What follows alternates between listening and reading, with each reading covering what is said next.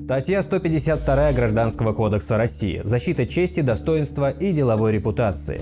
Статья 128.1 Уголовного кодекса «Клевета». Именно эти законодательные меры призваны защитить честного человека от лжи, но на практике нередко используются для прямо противоположных целей, когда большие люди со связями на самом верху или с деньгами хотят заставить замолчать тех, кто посмел их критиковать. Так в настоящее время происходит и со мной. Антон Бритва однажды разбил мой телефон и угрожал своими знакомствами, а сейчас пытается через суд добиться удаления видео с критикой его опасных тренингов. В начале этого дела было еще одно примечательное событие. Одновременно с иском от Бритвы мне прилетела досудебная претензия от университета «Синергия». Там меня прямо обвиняли в клевете и еще почему-то в незаконном использовании товарного знака. Точно такие же письма от Синергии получили сразу несколько блогеров. Сталин ГУЛАГ, Вика Ютубная и ребята с небольшого канала. Однако дальше угроз дело не зашло. Ни на меня, ни на Ютубную, ни на Сталин ГУЛАГа в суд подавать не стали. Но радоваться было рано. Один настоящий иск все-таки последовал и ответчиками по нему стали ни крупные блогеры, ни федеральные СМИ, делавшие разоблачительные разносы про университет, а ребята с маленького канала Race Peace Days TV, чье видео про синергию к тому моменту набрало от силы 15 тысяч просмотров. Но давайте сегодня узнаем, с чего все началось, что такое университет Синергия и предположим, как ситуация будет развиваться дальше. Сидел я спокойно, да, захожу почтовый ящик, решил почту проверить канала. Смотрю, досудебная претензия. Открываю, и там изначально написано «Уголовное дело по такой-то статье клевета». Думаю, что-то какая-то ерунда. Ну, думаю, дальше прочитаю эту досудебную претензию, что там будет дальше. Начинаю читать, да. Мне кажется, у нас с тобой одинаковые там пришли, то есть только имена поменяли, и все. Могу подтвердить, что текст письма Синергии ко мне действительно полностью совпадает с текстом, который пришел Максиму и Александру. Отличается только название роликов, которые требуют удалить. Еще в своем первом видео о судах я говорил, что претензия Синергии вызывает у меня много вопросов, и оказалось, что не у меня одного. За разъяснениями я обратился к адвокату ребят, Ксении Гордеевой. Ну, я бы сказала, что эта претензия в той форме, в которой она написана, не обоснована. Во-первых, из претензии непонятно, какие конкретно сведения, какая конкретная информация не устраивает отправителей, какую информацию они считают несоответствующей действительности и порочащей при этом. То есть они просто в целом ссылаются на видео.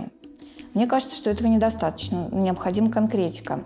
Затем, что касается использования товарного знака – ну, насколько мне известно, вы не использовали товарный знак для рекламы каких-то курсов, те, которые продает, организует Синергия. Не занимаетесь образовательной деятельностью под их э, брендом, под их товарным знаком. Поэтому вот это требование в части не использовать товарный знак для иллюстрации того, о чем вы рассказываете, на мой взгляд, незаконно, неправомерно их это требование. Ну и в-третьих, они говорят о том, что клевета в отношении юридического лица была. Клевета может быть распространена в отношении человека, гражданина, а не в отношении юридического лица. Ну хорошо, с безграмотно составленной досудебной претензией разобрались. Вы получили письмо счастья от Синергии, где требовалось удалить ролик. Ролик вы не удалили. Проходит полгода, и теперь уже прилетает реальный иск от Синергии. В чем суть их искового требования? Пункты один за другим тогда продиктую, проговорю. Первый пункт – это удаление ролика.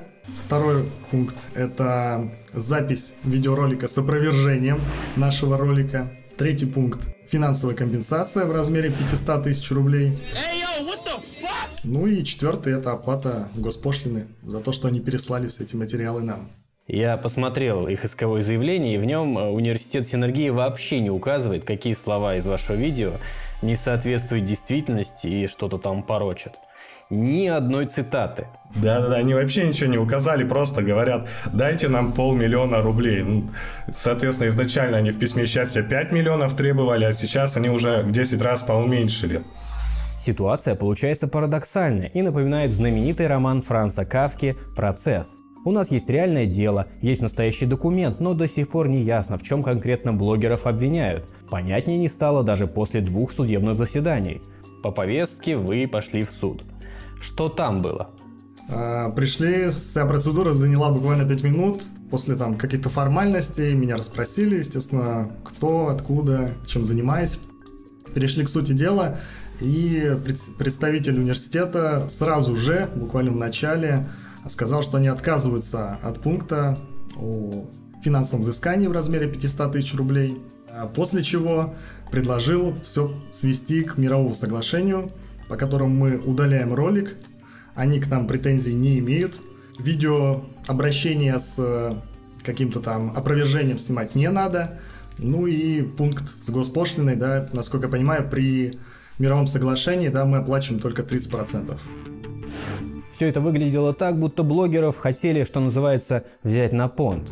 Сначала в ход пошли угрозы уголовной статьей и огромными штрафами, чтобы ребята поняли, с кем связались и испугались. А потом большая часть требований была отозвана в надежде, что блогеры выдохнут с облегчением и согласятся всего лишь удалить видео. Мол, посмотрите, какие мы добрые, пошли вам навстречу, сделайте ответный шаг и давайте заключим мировую. А испугаться тут и правда было кого. Синергия это не просто кучка странных инфобизнесменов или адептов сетевого маркетинга. Это крупнейший в России негосударственный вуз. Университет проводит крупнейшие бизнес-форумы и тратит миллионы долларов на приглашение топовых спикеров и знаменитостей. Майк Тайсон, Хабиб Нурмагомедов, Губерниев, Хакамада, американские и российские селебрити, музыканты, ученые и бизнесмены. В 2012 году Синергия открыла первый в истории кампус российского вуза в Дубае. Казалось бы, уникальный проект, пример построения суперуспешной и престижной бизнес-школы. Какие могут быть вопросы? Но оказывается, все не так просто. Есть основания считать, что за прекрасным фасадом элитного учебного заведения скрывается фабрика по штамповке дипломов и сборище далеко не самых профессиональных людей. Широкой публике Синергия стала известна в 2018 году после распиаренного выступления лучшего бизнес-тренера мира Тони Робинса. Тогда над этим громким провалом не посмеялся только ленивый. Самый известный пример несоответствия цены и качества в современной России. Стоимость билетов на семинар Робинса доходила до полумиллиона рублей. При этом начало задержалось на 4 часа, обладатели VIP-билетов вынуждены были стоять в общей очереди. На всех не хватало аудиогидов, а часть из них, что были, оказались без батареи. Да и сама речь Робинса оказалась больше похожа на сборник цитат из паблика ВКонтакте, чем на талантливый спич самого крутого в мире мотиватора. Или даже на рейв-пати.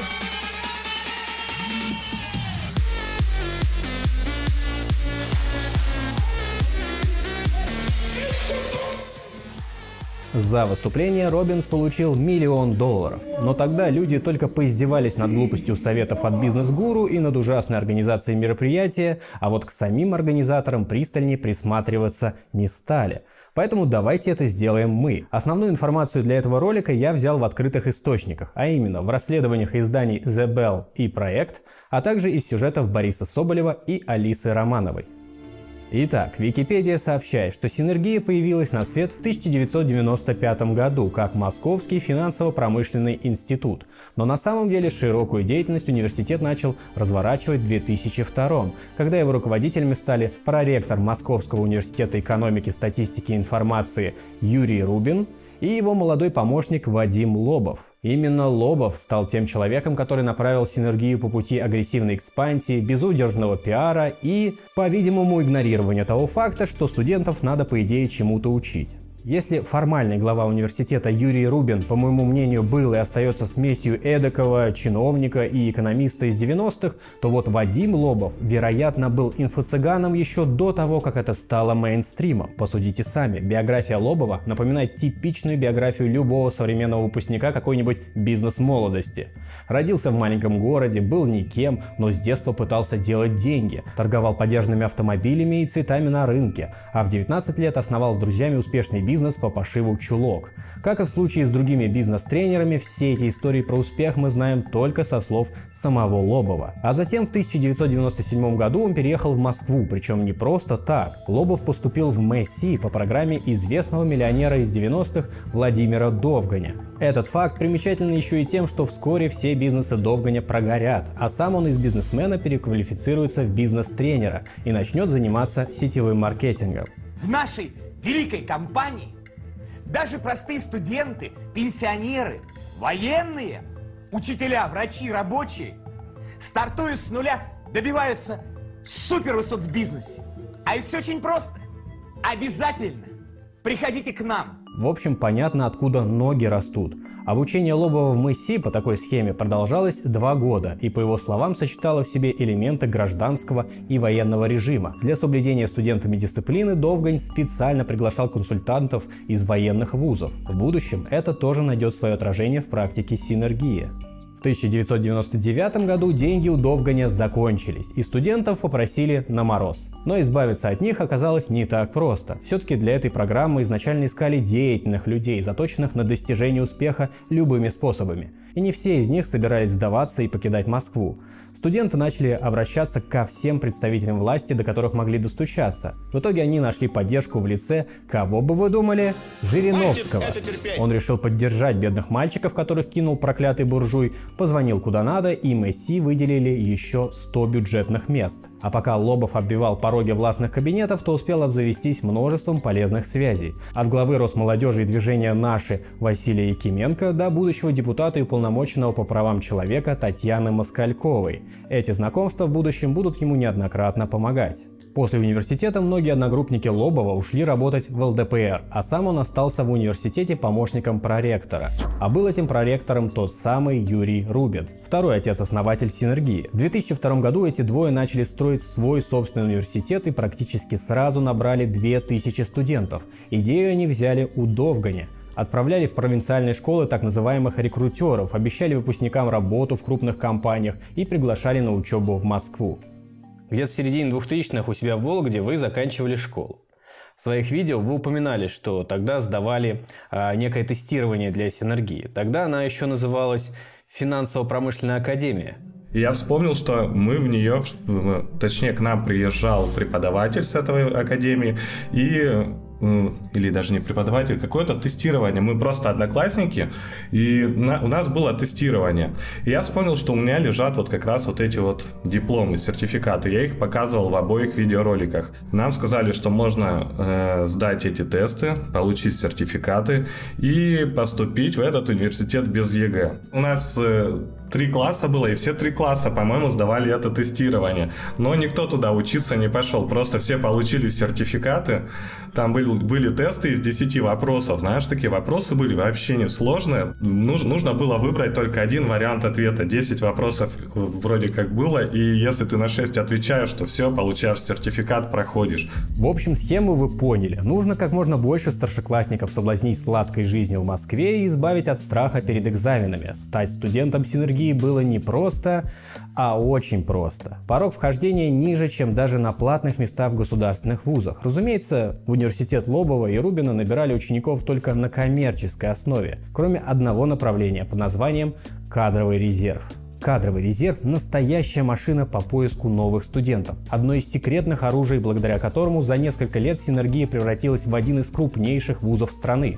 Построена она тоже по правилам жизни бизнес-тренеров. Если хочешь стать успешным, то должен терпеть все дерьмо, которое случается. Иначе ты не заслуживаешь места под солнцем. Суть проста. Целевая аудитория кадрового резерва – те же провинциальные школьники, которые очень хотят вырваться из своего города. Но в отличие от обычной аудитории синергии, у них нет денег вообще. Таким университет предлагает уникальные условия. Тебя берут учиться в платный вуз бесплатно и даже предоставляет место в общежитии. Но взамен ты помимо учебы начинаешь работать на университет. На первый взгляд все выглядит прекрасно. Ты без всяких проблем поступаешь в московский вуз, получаешь жилье и работу, где начинаешь зарабатывать какие-никакие деньги. Но естественно на практике все не так радужно. Поэтому сначала рекрутерам нужно отобрать тех, кто сможет выдержать жесткие нагрузки и при этом не понять, что его используют, а считать, что он победитель по жизни. А не человеческие трудозатраты – это испытания, которые нужно обязательно выдержать, ведь без страданий успеха не достичь. Так что сначала всех кандидатов студенты кадрового резерва везут на 10 дней в подмосковный пансионат на так называемые курсы лидерства. Помните, я упоминал, что первые два года Лобова в ВУЗе прошли в полувоенной атмосфере. Вот эту же практику он перенес и в свой университет. Вчерашних школьников ждали полуспартанские условия. Подъем в 6 утра, пробежка, обливание холодной водой, семинары, отбор отбой. Все строго по расписанию. Мальчики отдельно, девочки отдельно. Наказания следовали за малейшее нарушение. Те, кто выдерживает, поступает автоматом и получает желанное место раба на галерах и начинает работать на благо синергии. Работа бывает разная, но почти все участия кадрового резерва, по рассказам студентов, заняты в продаже. Обзванивают потенциальных покупателей, ходят по школам, колледжам и рекламируют профильные программы. Я не могу назвать это продажами. Мы агрессивно пропихивали все всевозможные продукты университета, то есть всевозможные курсы, особенно поступление в университет. При поступлении в Синергию студенты подписывали два договора. Первый, собственно говоря, как студент, второй как наемный работник. В 2013 году ученикам предполагалось тратить на работу час в неделю и получать за это 350 рублей в месяц. Позже условия договора изменились, количество рабочих часов выросло до 4, но в реальности студенты могли работать по 6 дней в неделю, с утра до вечера, получать за это в лучшем случае 15 тысяч рублей, если удавалось избежать штрафов, которые там были буквально за все, и оставлять для учебы только воскресенье. Никакой свободной личной жизни в кадровом резерве нет.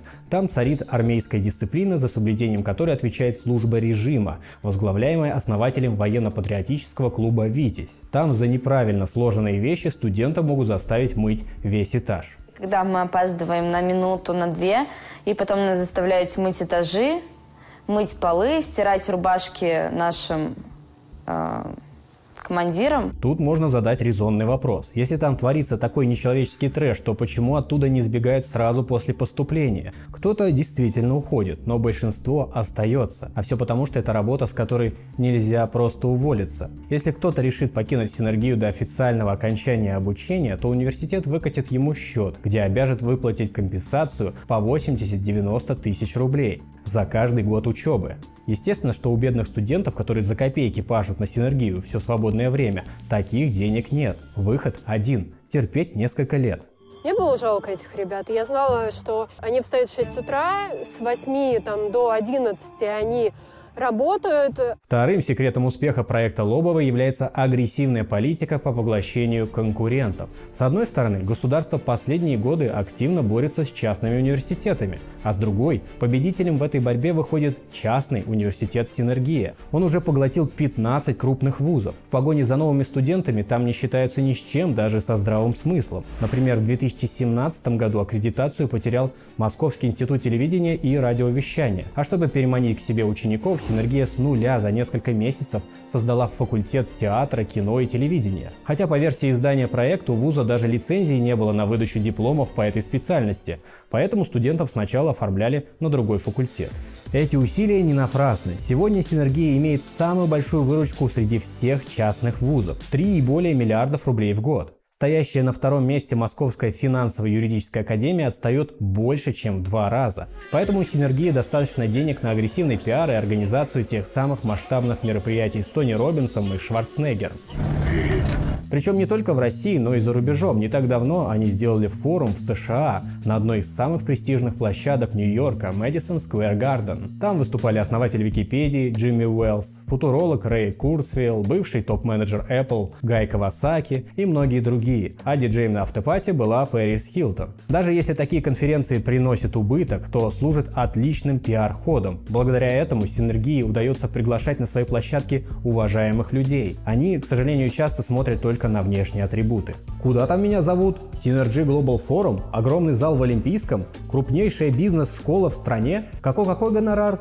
Конечно, с радостью выступлю. А то, что с ними на одной сцене будут странные персонажи вроде Антона Бритвы, ускользает от внимания. И это обычная схема многих деловых конференций. Дать много денег топовому спикеру, чтобы люди пришли на него посмотреть. И продать рядом с ним место на сцене какому-нибудь бизнес-тренеру, который получит доступ к платежеспособной аудитории. Садитесь глубже, держите спину прямой, наблюдайте за дыханием. Михаил, вы тоже. Синергия сознательно превращает традиционные бизнес-конференции в масс-маркет с несколькими тысячами гостей. Это, скажем так, обертка университета, то, как он себя презентует, но соответствует ли содержание оболочки. В национальном рейтинге университетов Синергия занимает 265 место из 337. То, как там относятся к обучению студентов, по моему мнению, еще в 2012 году показал Борис Соболев. МФПА «Синергия» – платный образовательный лохотрон. Учиться не обязательно. Итак, некий студент этого вуза, просивший во избежание неприятностей не показывать его лицо, рассказал, как там устроена экзаменационная работа. Пересдача у нас платная, 750 рублей один экзамен стоит. А в среднем, ну, в сессии 10-12 предметов. То есть, ну, в районе 10 тысяч студент раз в полгода должен выложить. Складывается такое впечатление. Посещать не надо, знать ничего не надо, плати деньги, получай зачеты и диплом. Да, там стоит программа, которая прошита так, что то есть даже можно прийти, не зная вообще, какой предмет ты будешь сдавать. И можно как мартышка понажимать на любые кнопки, и гарантированно будет зачет. Служба безопасности синергии сработала хорошо. Анонимного студента из сюжета Соболева вычислили и стали требовать опровергнуть свои слова под угрозой отчисления и отправки в армию. С моей стороны была глупость, как бы оклеветал академию, в которой учусь, и обещаю больше такого не повторится. В общем, паренька сломали. Но позже парень сам решил уйти из универа, вновь встретился с Соболевым, еще раз подтвердил, что все, что он сказал, правда. Ну, еще раз хочу сказать, то, что, что было снято, все мои онлайн-экзамены, это все правда. То есть, э, правда, что такая программа у них там прошитая стоит, что всегда сдаешь зачеты. В сети можно встретить множество отзывов от бывших студентов, где они делятся впечатлениями об учебе. Тем не менее, Синергия регулярно проходит мониторинг качества высшего образования и признается эффективно работающей. Ничего не хочу утверждать, но возможно это происходит потому, что с 2013 года за проверку частных вузов в Рособорнадзоре отвечает Сергей Рукавишников, бывший замдекана факультета права в Синергии. Подчинении у Рукавишникова работает Елена Улитина, которая до 2016 года тоже была сотрудницей Синергии. На сайте университета, кстати, до сих пор числится ее полная тезка. Ну а еще в качестве эксперта в проверках Рособорнадзора участвует нынешний ректор университета Артем Васильев. По версии издания The Bell, полный тезка Васильева также в 2018 году являлся гендиректором компании, благодаря которой Вадим Лобов получил контроль над Московской академией предпринимательства при правительстве Москвы. Также есть мнение, что бывший владелец академии сначала отказывался продавать ее Лобову, но после того, как в заведении начались внеплановые проверки Рособорнадзора, которые закончились приостановлением лицензии, владелец вуза сдался и согласился на продажу. По словам учащихся, выбрать вуз для дальнейшего обучения им не дали. Для перевода без потери денег и времени предложили лишь один вариант – Московский университет «Синергия». Мне должны предоставить несколько вузов для вывода, выбора. Когда я начал обращаться, как говорится, представителям, в частности, Академии, Синергии, мне нет четкого понимания этого вопроса. Не дал никто. Они мне просто твердили одно и то же. У вас здесь два шанса, то или то. Либо перевод, либо отчисление. Не устраивает синергии то, то, что нам предлагают дистанционное обучение. Мы учились на обычной классической заочной форме. Еще одним козырем в рукаве синергии является тесное сотрудничество с властью. На сайтах университета можно встретить рассказы о подготовке волонтеров для Олимпиады в Сочи и чемпионата мира по футболу. Форум синергии в Татарстане проводился совместно с правительством республики, а другой форум в Москве открывал Собянин. Как стало известно изданию «Проект», за связи с общественностью Синергии до недавнего времени отвечал Артем Сурков, сын Владислава Суркова, который до февраля 2020 года был помощником президента России и считался одним из главных кремлевских политтехнологов. Синергия регулярно получает государственные гранты. Самый крупный из них – миллиард рублей на пропаганду бизнеса среди школьников, безработных и бывших военных. Тут может сложиться странное впечатление, почему университет с такими связями на самом верху периодически получает критические разносы от главного государственного телеканала «Россия». Я думаю, что объяснение тут простое. Связи синергии не хватает, чтобы уклониться от критики, но хватает, чтобы избежать последствий от нее. ВУЗ работает, студенты набираются, бизнес делается. А популярность синергии держится не только на пиаре и связях, но и на том, что у нас есть огромная категория людей, которым диплом важнее, чем реальные знания. Поэтому, на мой взгляд, синергия рождает себе подобных активных, амбициозных и бестолковых деятелей, которые исходят из совершенно другой системы ценностей. Они меряют успех не качеством того, что делают и продают, а количеством. Кто привозил Шварценеггера в Россию? Да никто, а мы привезли.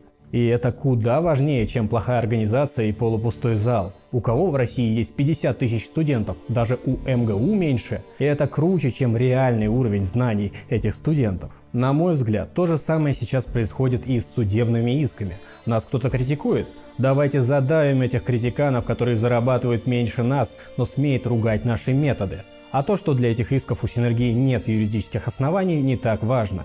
Возможно, они просто рассчитывают, что их связи и денег хватит, чтобы запугать и победить никому неизвестных блогеров.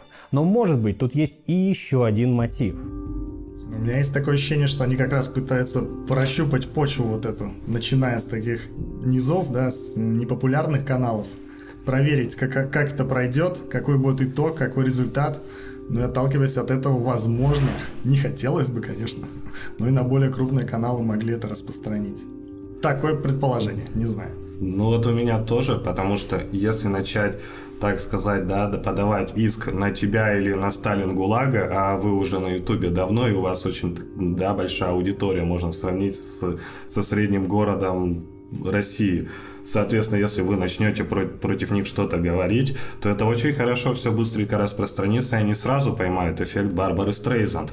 Соответственно, если они пойдут на маленький канал, канал, который им там может мешать жить, то у них шансов гораздо больше нас запугать. Типа то, что мы с Ютуба ничего не имеем, знакомств нет, просто записали какое-то видео. Давай-ка мы им поугрожаем, соответственно, и, может быть, они удалят это видео, и все, и от них мы устраним, и, соответственно, пойдем дальше. Как думаете, что будет, если ребята этот суд проиграют? Ну, предположим, что если этот иск будет судом удовлетворен, то, скорее всего, Синергия попытается воспользоваться этим, этим судебным решением как прецедентом. И по протаренной дорожке они будут пытаться на основании этого судебного решения удалить э, ролики из открытых источников, э, с сайтов, э, с каналов и так далее, где вообще содержится информация, где рассказывается о том, как сдаются экзамены, как там принимаются экзамены, ну и как организован учебный процесс. Чего от синергии ждать другим видеоблогерам, если она выиграет сейчас в суде? Ну, я думаю, конечно, что если синергия выиграет этот процесс, суд удовлетворит их иск. Я думаю, что существует такая вероятность, что синергия, конечно, займет более активную позицию и обратится уже к другим блогерам с аналогичными исками. Ну, благо, одно уже судебное решение будет в их пользу. А от чего зависит, выиграют ребята этот суд или проиграют? Ну, я думаю, тут зависит очень многое, как поведут себя люди, которые являются свидетелями, чтобы они не остались в стране, чтобы они дали свое согласие прийти, дать показания в суде. Не пожалели время на это, поняли, что это очень важно в данном конкретном деле. Что это может коснуться других людей, в том числе и их самих. Я очень надеюсь, что свидетели все-таки в нашем процессе появятся, осознают ответственность и будут принимать участие. И интересно, как суд даст оценку какую даст оценку их показаниям. Но это будет интересный процесс. По итогу мы имеем проект, который построил успешный бизнес на образование. Синергия с самого начала делалась по принципу «казаться, а не быть», где внешний эффект важнее качества. Я уверен, что сами владельцы университета всерьез считают себя революционерами, которые делают уникальный продукт. Но по факту из-за огромных трат, в том числе на маркетинг, они имеют чистую прибыль порядка 40 миллионов в год при выручке в 3 миллиарда и более. Для сравнения, та же МФЮА зарабатывает в 7 раз больше, хотя выручка там в 2 раза меньше. Это еще одно свидетельство, что если ты делаешь распиаренные вау-штуки, это само по себе не делает тебя крутым бизнесменом. Ребята, чтобы не было никаких инсинуаций, почему ректор образовательной организации на такой машине, это в кредит. Я знаю, что в сети есть огромное количество негативных отзывов о синергии. Я прошу авторов этих отзывов, бывших и нынешних студентов этого вуза, пишите мне на почту. Поделитесь своими историями. В том числе от вас зависит, сможем ли мы остановить синергию в суде, или она продолжит втихую паразитировать на образовании. На всякий случай, это мое оценочное суждение. Ну а не страшно судиться? Как там будет рассматривать суд это дело? Все-таки огромная корпорация, огромные связи, деньги, влияние. Поэтому и хочется, чтобы именно в отношении них был общественный резонанс у нас как получается, да, сейчас в России делается, что у кого больше знакомств, тот и выиграл. На самом деле, как я говорил в нашем втором ролике, по крайней мере на бумаге мы живем в правовом государстве. Да? Э, соответственно, у всех права и свободы одинаковые. Со своей стороны, университет Синергия тоже наши, да, можно сказать, свободы нарушает. Мы имеем право на собственное мнение, да, которое закреплено Конституцией. Даже если огромная корпорация будет с нами судиться, и это пойдет на общественный резонанс, то суд все равно должен рассматривать дело да, в рамках правовом, а не, а не в рамках знакомства и большой корпорации. То есть у нас нет, нет законодательно закрепленного того, чтобы большая корпорация должна выиграть там маленьких блогеров.